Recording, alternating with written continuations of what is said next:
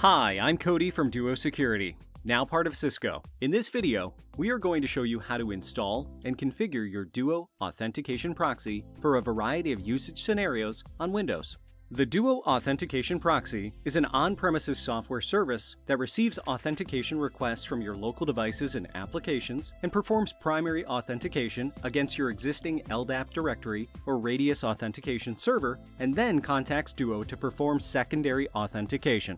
Once the user approves the two-factor request, the proxy returns access approval to the requesting device or application. In addition to providing two-factor authentication, the Duo Authentication Proxy is a required component for importing Active Directory or Open LDAP users into Duo via Directory Sync, Active Directory Authentication for Duo Single Sign-On, and can also act as an HTTP proxy itself for other systems that need to contact Duo's cloud service.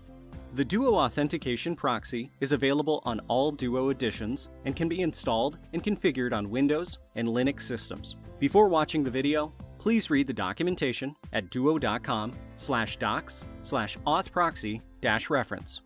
Let's begin with installation. In this video, we will be installing Duo Authentication Proxy version 5.2.0 on a Windows system.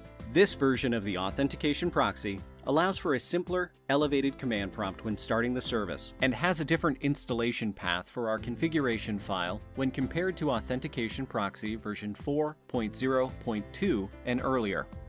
Be sure to reference the documentation for more information on version differences. The Duo Authentication Proxy on Windows requires Windows Server 2012 or later. Server 2016 or 2019 are recommended. For additional installation details, including installing the authentication proxy on Linux operating systems, see the documentation. The proxy can be installed on a physical or virtual host. We recommend a system with at least one CPU, 200 megabytes of disk space, and 4 gigs of RAM, although 1 gig of RAM is usually sufficient. On the system you have chosen to host the proxy, navigate to duo.com slash docs slash authproxy dash reference and click the link under Installation to download the latest version of the Duo Authentication Proxy for Windows. Leave this page open as we will be using it later for our configuration. After the installer has finished downloading, launch the installer as a user with administrator rights. Follow the on-screen prompts and install the proxy. Click Finish when installation is complete. The authentication proxy is now ready to be configured, but note that you need to add your authentication and application information to the default configuration file before you can start the Duo Authentication Proxy service. For future upgrades to the authentication proxy, you can refer back to the reference link to download and run the installer for the latest version. Upgrading the proxy retains the conf and log folders and contents from your current installation. Note that if you have changed the properties of the Duo Authentication Proxy service to run as a named domain account, be aware that the service will revert to running as a local system after the upgrade. Repeat the process to change the service back to using a named domain service account before starting the service. Additionally, if the Duo Authentication Proxy service was running when you started the upgrade, the installer attempts to restart the proxy service after the upgrade completes. Anytime after you update or modify your authentication proxy configuration, you will need to stop and restart the service for your changes to take effect. Next, we are going to locate our authentication proxy configuration file and learn how to configure it to suit our needs. The Duo Authentication Proxy configuration file is named authproxy.cfg and is located in the conf subdirectory of the proxy installation.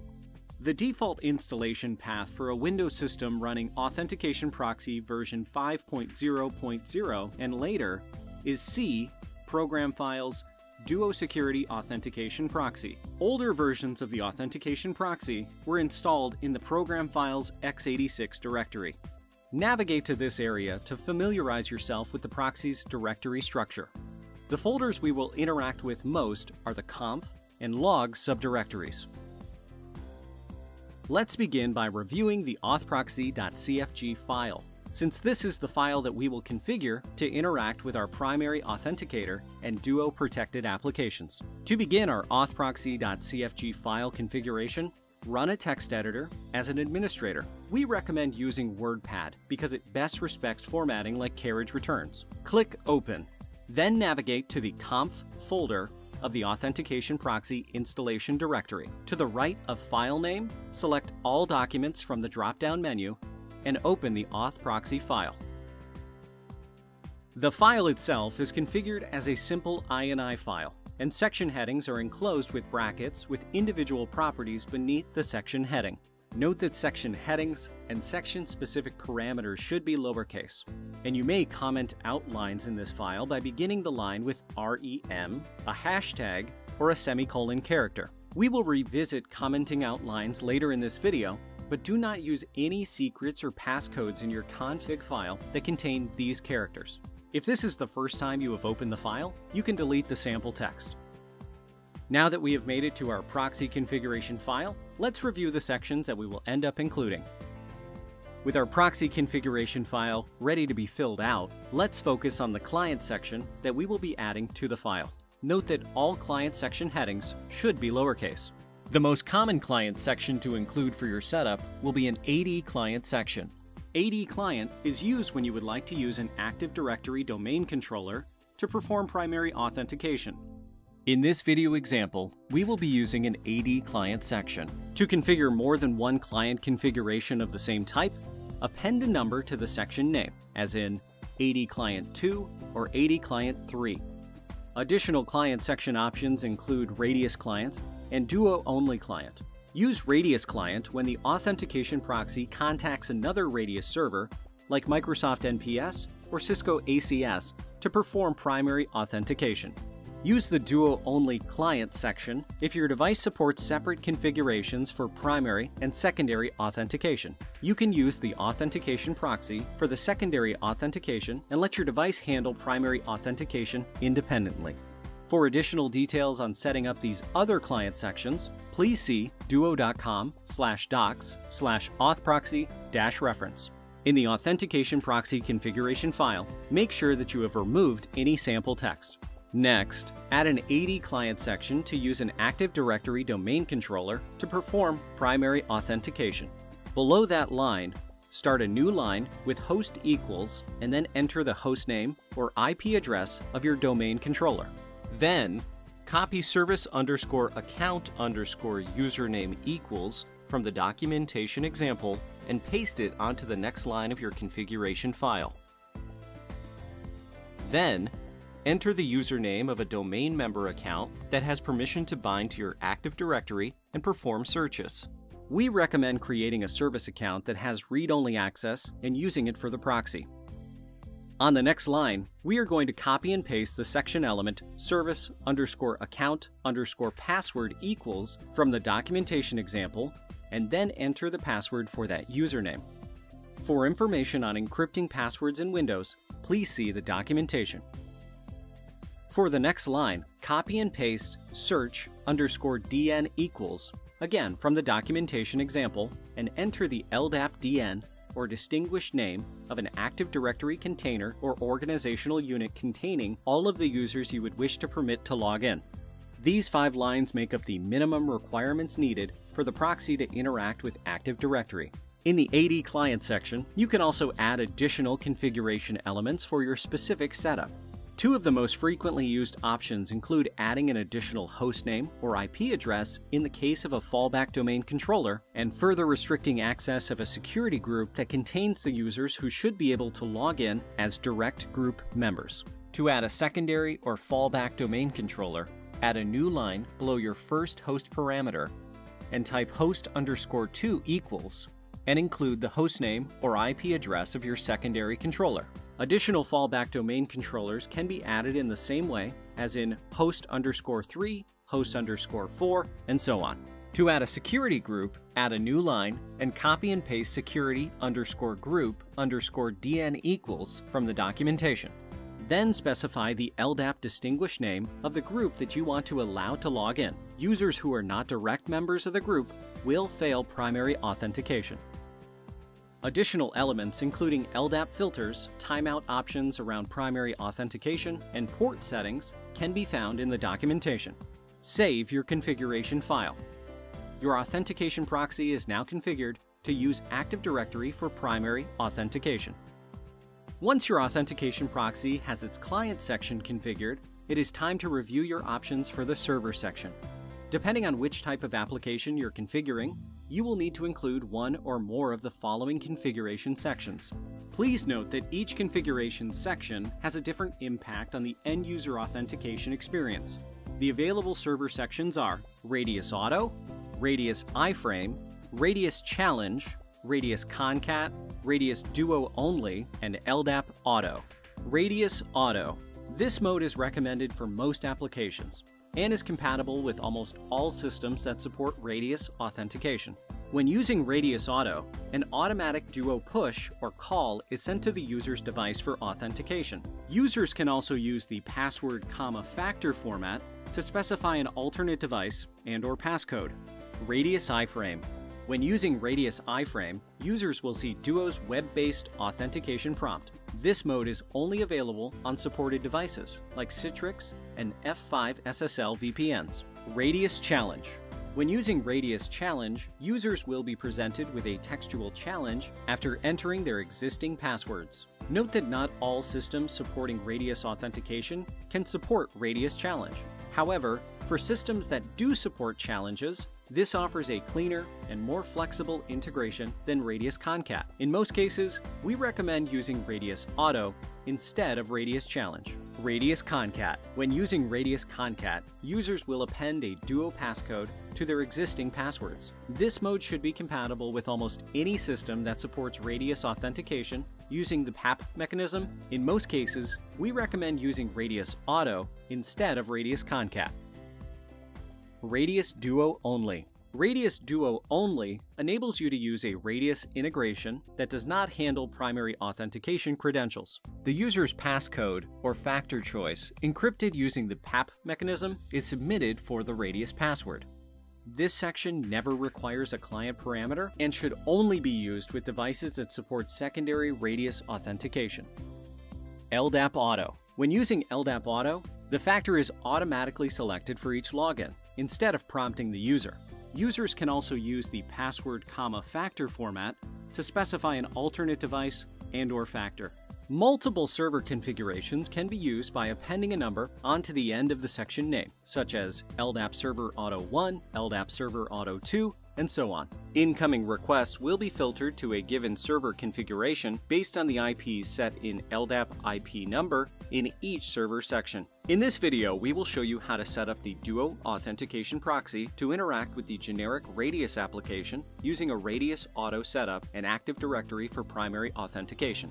For details on other configuration options, please see the documentation. To begin, log in to the Duo admin panel. Click on Applications. Then click Protect an Application. In the search field, type Radius. Under the generic Radius entry, click Protect. At the top of your new Radius Applications Properties page, you will see your integration key, your secret key, and API hostname. Next, Scroll down the Radius Application Properties page and rename your application in the name field under Settings. Type something recognizable to differentiate this application from others. In this example, we'll name the application Device A. Next, click Save. Keep this page open for quick access throughout the rest of the setup process. Next, run a text editor as an administrator. We will once again be using WordPad for how it best respects formatting like carriage returns. Inside the text editor, click Open and navigate to the authproxy.cfg file where we previously added our AD client section. We have already configured our proxy to use Active Directory as our primary authenticator. Below the final line of the AD client section, add an empty line. Next, we are going to comment out a line to provide some contextual information for any future users of the config file. For this example, type semicolon radius device A. The required elements for a radius server auto section are iKey, skey, API host, radius IP, radius secret, and client. To learn more about the optional elements for this server section, see the documentation. To begin, below your commented outline, create your radius underscore server underscore auto section. Next, copy and paste ikey equals from the documentation page example and then paste your integration key from your Radius Applications Properties page. Then, copy and paste skey equals from the documentation page and copy and paste your secret key from the Properties page. If you would like to encrypt this password, see encrypting passwords in the documentation and use the skey underscore protected parameter instead. Next, copy and paste API underscore host equals from the documentation, and then paste the API hostname from your properties page. Beneath those lines, create a new line and copy and paste radius underscore IP underscore 1 equals from the documentation, and then enter the IP address of your radius device. Then, Start a new line and copy radius underscore secret underscore 1 equals from the documentation and enter the secret shared between your proxy and your device. Next, define what the proxy will use to perform primary authentication. In this case, we will be using Active Directory. Add a new line and copy and paste client equals from the documentation and enter AD underscore client. Finally, enter a port on which to listen for incoming radius requests.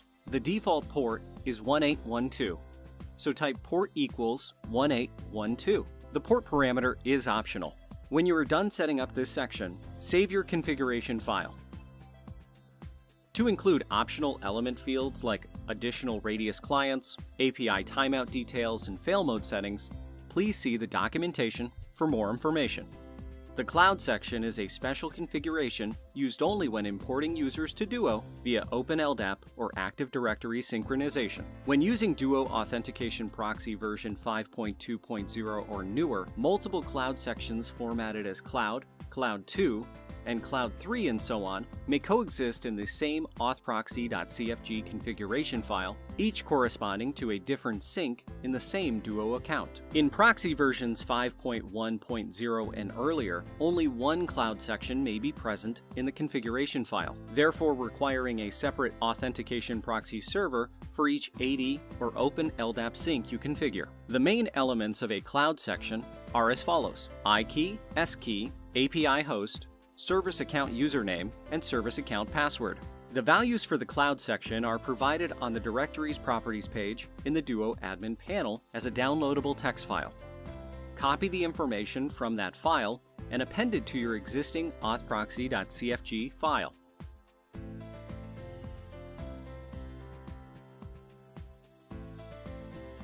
You may have to fill in the server account username and password if your authentication type is not integrated. When you are done setting up this section, save your configuration file. The HTTP proxy section configuration allows supported Duo applications to proxy HTTPS connections to Duo's cloud service through the Authentication Proxy server. This is useful in environments where client systems do not have direct internet access to Duo. Note that you must also configure the Duo application to use Authentication Proxy server as an HTTP proxy. In this video example, we will not include the HTTP proxy section. For more information on this configuration, please refer to the documentation. The Duo Authentication Proxy Service is able to be run in Federal Information Processing Standard, also known as FIPS mode. In this video example, we will not enable FIPS mode, but to employ this configuration, please see the documentation. With our Duo Authentication Proxy now configured, let's start up the proxy service. Authentication Proxy versions 5.1.0 and later include the Authentication Proxy CTL executable, which shows the connectivity tool output when starting the service and can assist you if you run into issues when starting the proxy. In this video, we will be using the AuthProxy CTL Start for our installation of the Duo Authentication Proxy version 5.2.0. On your Windows device, open an elevated command prompt and run authproxy CTL start.